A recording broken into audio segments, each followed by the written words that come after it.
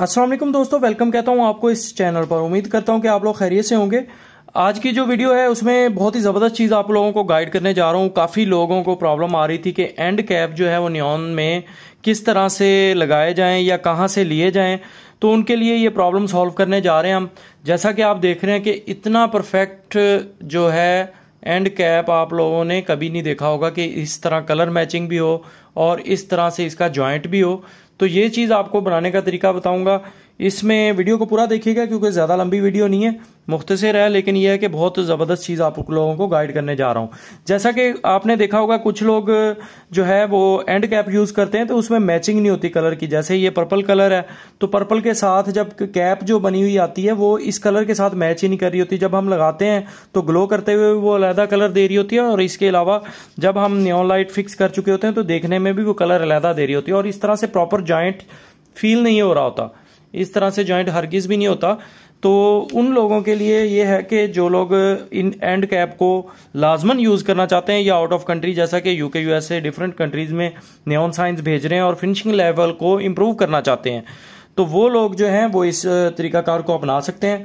तो मज़ीद बढ़ते हैं जी, किस तरह से हमने ये एंड कैप तैयार करनी है। हाँ इसमें मैं ये भी बता दूँ, अक्सर लोग हॉट गिलू गन जो है, वो उसको भी यूज़ कर सकते हैं।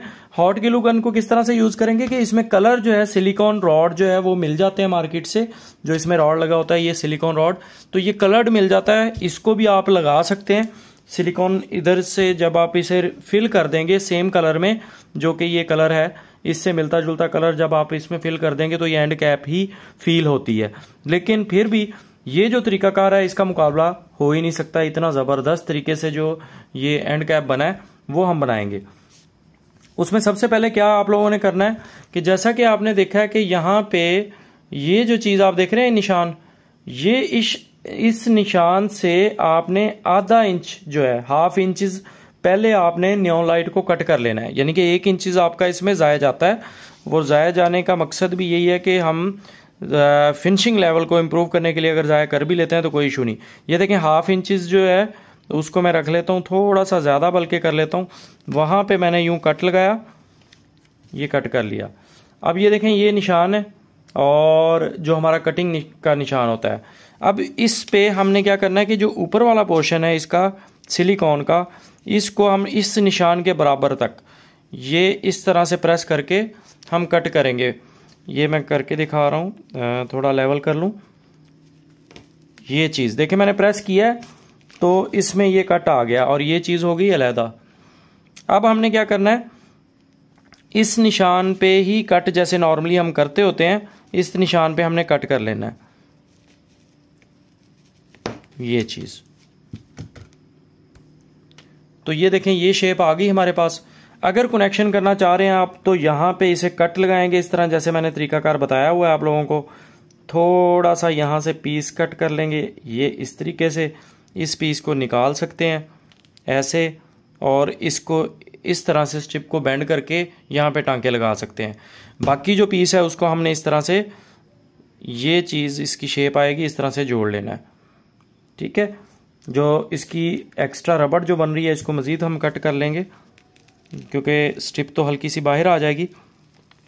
ये चीज़ मैंने कर ली।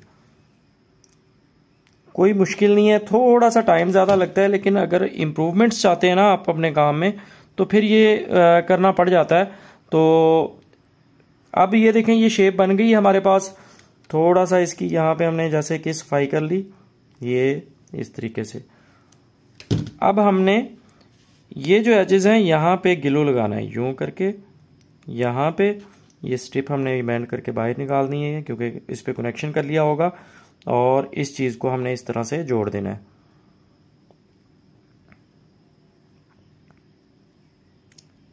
थोड़ा सा यहाँ पे वेट करना होगा क्योंकि इस नियॉन लाइट में सिलिकॉन और पीवीसी दोनों होते हैं। जो वाइट है वो पीवीसी है।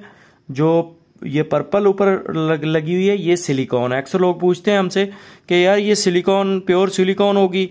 तो पूरी जो लाइट है तो ऐसा नहीं होता जो डिफ्यूज़र जिसमें अलहदा होता है सेपरेट न्योन लाइट जो होती है ना सेपरेट जिसमें एलईडीज होती हैं उसमें ऊपर वाला पोर्शन पूरा सिलिकॉन में होता है लेकिन इस लाइट में पीवीसी ये होता है और ऊपर वाला सिलिकॉन होता है।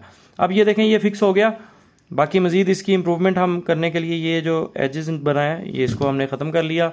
तो ये देखें कितना परफेक्ट जो है इसका आ, वो बन गया है एंड कैप बाकी मज़ीद जो इस साइड पे हमने कनेक्शन के लिए स्ट्रिप निकाली है, यहाँ से हमारी वायर्स बाहर आ जाएँगी और नीचे जा सकती हैं और मज़ीद इसको हम रबड़ को जो है इस तरह से सेट कर लेंगे, ये चीज़। तो ये देखें, कितना प्रॉपर जो है इसमें ये बन चुका है एंड कैप और इसकी जब लुक आएगी तो कमाल होगी इस तरीके से, ये देखें। ठीक हो गया? तो उम्मीद करता हूँ ये चीज़ आप लोगों के लिए काफ़ी सपोर्टिव भी होगी। हाँ अगर आप लोग वाटरप्रूफ न्योन साइंस बनाना चाहते हैं तो उसमें ये करें कि इसको वाटरप्रूफ करने के लिए ये जो सिलिकॉन गन है, इससे आप नॉर्मल कोई भी कलर की सिलिकॉन जो है ना, इसमें पहले फिल कर लें इसके अंदर। दोनों तरफ़ से स्ट्रिप के आगे से भी, पीछे से भी मैं कट करके दिखाता हूँ आप लोगों को। ये देखें सिलिकॉन जब भी भरनी है इसमें तो इस जगह पे भी भरनी है और प्लस इसकी ये बैक साइड पे भी भरनी है। ये नहीं कि सिर्फ़ फ्रंट पे भरें तो पानी यहाँ से इन हो जाएगा।